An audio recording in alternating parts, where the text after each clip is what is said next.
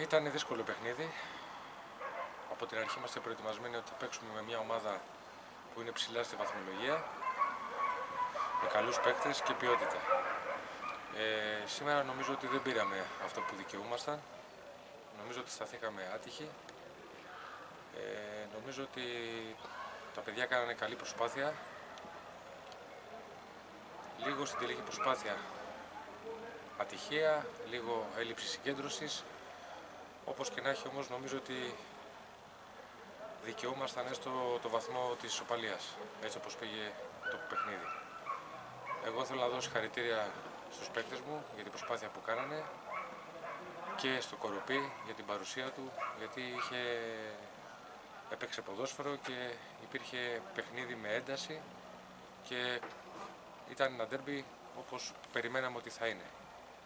Εγώ εύχομαι από τη, από τη μεριά μου να είμαστε καλά, τουλάχιστον από θέμα δραματισμών και νομίζω ότι στην πορεία θα δικαιωθεί η ομάδα. Πιστεύω ότι αξίζει να είναι πιο ψηλά.